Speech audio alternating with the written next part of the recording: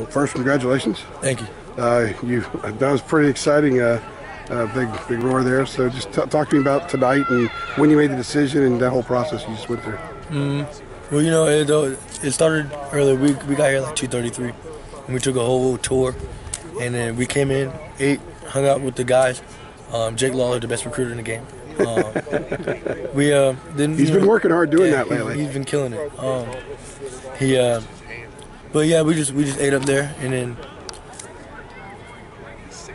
the the the camp was fun. You know, the camp was fun. We got to compete with top guys, and that, that they're also looking at.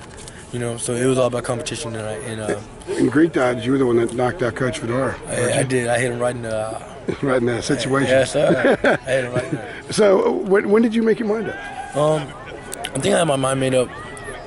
Mm, I want to say a few days ago, cause like coming up here, I was like kind of, man, this is this kind of where I want to be at.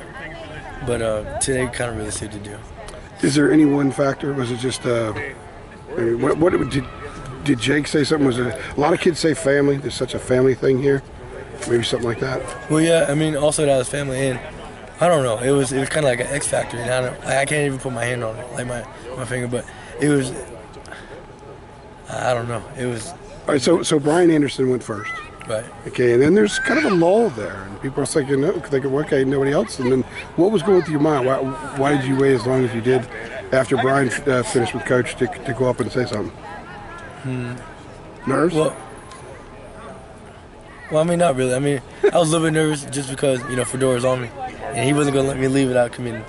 So uh, uh, I, I just really enjoy my day here. Okay. And, and enjoy every time I, I've been here twice, and I've been I've had the time of my life both times. So, so moving forward, um, take me through the next year. A lot of guys come early; they graduate in May. uh, I'm, my plan is to graduate early and come Okay. in. Um, Coach Porter, he, he asked me to come in early, so uh, that's what I'm planning to do. Have you been kind of working toward that anyway, regardless of where you would have gone? So Yes, sir. you kind of got your academics in gear, so you can finish in December. Yes, sir. Okay, sounds good. Uh, anything else about today that you?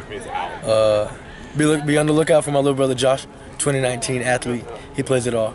Also, explain since I'm posting this on the fourth, and you ask everybody to wait till the fourth. Explain to our, our audience, our readers, our subscribers why you're gonna why you wanted to wait. Uh, on the fourth is uh, go home, have a cookout with the family. Uh, we're gonna be surrounded by it, and that's when I want to let the world know. That'd be your day, big day for you. Yes, sir. Awesome, very very good.